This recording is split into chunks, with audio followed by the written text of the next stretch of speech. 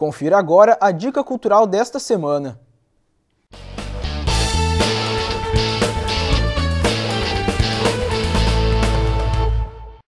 A dica cultural do Cicred é a Caravana dos Polpedes, que está passando por mais de 50 cidades do país, levando a cultura da cooperação e da educação financeira.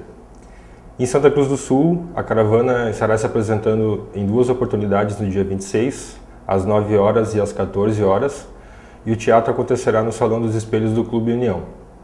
Eh, estamos convidando todas as escolas da região e a expectativa é de que mais de 800 alunos participem da programação. Maiores informações uh, podem ser adquiridas no site popedcicred.com.br ou no centro administrativo através dos telefones 3713 e 9200. Obrigado. Dos dias 24 a 28 de outubro, a Unisc promove o 17º Seminário de Iniciação Científica e o segundo Salão de Ensino e Extensão. O evento tem por objetivo divulgar a produção científica e as atividades de ensino e extensão desenvolvidas pelos estudantes da Unisc e de outras instituições de ensino superior. Foram aceitas inscrições somente de trabalhos de ensino e de extensão que se insiram dentro de um dos eixos temáticos nos quais o evento está organizado. Lembrando que a Unisc TV vai fazer uma cobertura especial do evento. Mais informações sobre o evento podem ser obtidas no site www.unisc.br. Veja alguns destaques da semana na universidade. No dia 19, na sala 102, aconteceu uma palestra com Taírlo Guedes, assessor técnico da Secretaria do Desenvolvimento e Promoção de Investimento. O assunto abordado foi o Sistema de Desenvolvimento Econômico do Rio Grande do Sul e o evento fez parte do cronograma da Semana Nacional de Ciência e Tecnologia na Unisc. A abertura foi realizada pelo reitor Vilmar Tomé e pelo pró-reitor de Pesquisa e Pós-Graduação, Rogério Leandro Lima da Silveira. Na quarta-feira, dia 19, no bloco 18, aconteceu um ciclo de palestras para comemorar a Semana Mundial da Alimentação. O evento com entrada franca foi organizado pelo curso de nutrição da Unisc. Os temas abordados foram Cesta Básica Nacional em Santa Cruz do Sul, o direito humano à alimentação adequada, fome, obesidade e desperdício e obesidade e infertilidade. Todos os anos a FAO, que é a Organização das Nações Unidas para a Alimentação e Agricultura escolhe um tema. Esse ano ela escolheu uh, a crise dos alimentos, ou melhor, o preço dos alimentos, da crise à estabilidade, porque no mundo se vive uma instabilidade grande dos preços dos alimentos. Para termos uma ideia, em todo o mundo foram uh, uma oscilância em torno de 26% da inflação dos alimentos só no último ano. Isso significa que o preço dos alimentos fez com que muita gente, mais precisamente no mundo, 70 milhões de pessoas que estavam na pobreza passaram para a extrema pobreza, portanto, vivem em situação de insegurança eh, alimentar grave. Esse tipo de evento, principalmente no espaço universitário, é importantíssimo porque a temática dos direitos humanos à alimentação tá, tem que perpassar por todas as áreas do conhecimento. Tá? Há uma necessidade e até pode-se dizer, hoje se discute, uma fragilidade tá? na discussão desse tema. No dia 20 de outubro, foi ministrada pela professora doutora Regina Marges a palestra Estudos atuais sobre o sono, Parkinson e doenças degenerativas. A convite da disciplina de Neurociências do curso de Psicologia da Unisc, o evento aconteceu na sala 101, Boa parte da população mundial tem algum problema relacionado ao sono. Nós aproveitamos para fazer uma entrevista sobre este assunto com a palestrante Regina Margis, que esteve na Unisco no dia 20 de outubro. Essa palestra foi promovida pelo curso de Psicologia. Olá, Regina, seja bem-vinda ao Unisque Notícias. Você falou na palestra que cada indivíduo tem uma visão diferente do sono. Então, o que é dormir bem? Uhum. Então, dormir bem é muito uma percepção de cada pessoa.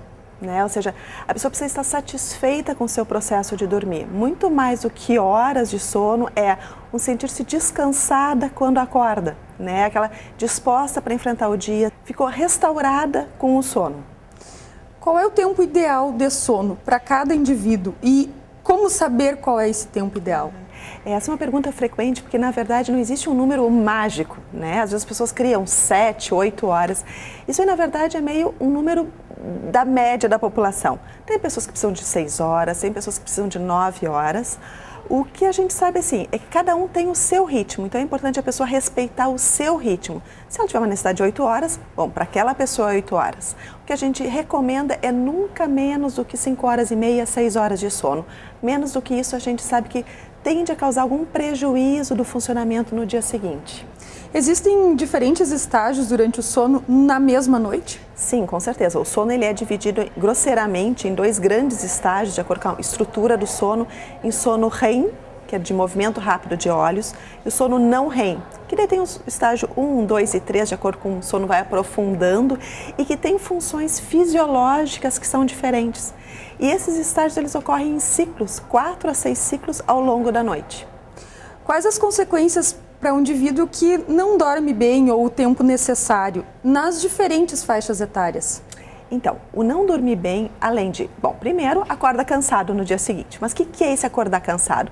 Pode repercutir em atenção, uh, em déficit de memória, de concentração, um prejuízo no trabalho ou inclusive interferir no humor e às vezes até alguns quadros relacionados à doença que pode estar relacionado a isso. A gente sabe, por exemplo, pessoas que não dormem bem podem ter maior vontade de comer carboidratos ou comer mais. Então, o dormir uh, tem que ser entendido como algo fisiológico e saudável que é importante, não é perder tempo. Substâncias como café, energéticos uh, ou outros estimulantes são comumente usados por pessoas que precisam ficar acordadas. Que consequências eles trazem uhum. para esses indivíduos? Então, a gente sabe assim que uma pequena quantidade de café, ok ser consumida. O que, que a gente geralmente recomenda? No início do dia. Então, lá no café da manhã ou logo depois do almoço. Mas, assim, considerando pessoas que não têm problema cardíaco, nenhum problema de alergia maior. Mas o que a gente tem que cuidar? A pessoa que está precisando tomar muito café ou está precisando de energético, provavelmente é porque ela não esteja dormindo bem. Então vale mais a pena a gente olhar um pouco melhor como é que está a qualidade de sono dessa pessoa, dormir bem à noite, que ele provavelmente não vai precisar desses estimulantes ao longo do dia. Para quem não dorme bem no... ou para quem não dorme à noite, o sono do dia ele recupera? O sono mais saudável para nós, seres humanos, é o sono noturno. Então a gente poder preservar uma regularidade de horários de sono. Então, não é só ser à noite, é ter um horário uh, habitual de adormecer, de deitar e de acordar pela manhã. Para finalizarmos, então, quais são as dicas para dormir bem e garantir a qualidade de vida? Então, primeiro, uma regularidade de horários de sono. Né? Então, ter mais ou menos um horário habitual de, de deitar, de adormecer e de acordar também. Evitar hábitos que possam interferir na qualidade do sono, como tu perguntaste há pouco a questão do café, excesso de café depois das quatro, cinco da tarde não é recomendado, uh, refrigerantes com cola. Uh, chá, chimarrão, isso é bem complicado falar aqui para nós gaúchos, mas são uh, substâncias que podem interferir na nossa qualidade de sono. Né? Uma atividade física regular também vai nos ajudar a uma melhor qualidade de sono. Então seria o quê? Ter uma, um hábito de vida saudável e como consequência a gente vai ter um sono saudável também. Tá ok. Muito obrigada pelas suas Agradeço. informações. O Unisque Notícias de hoje fica por aqui. Até a próxima edição.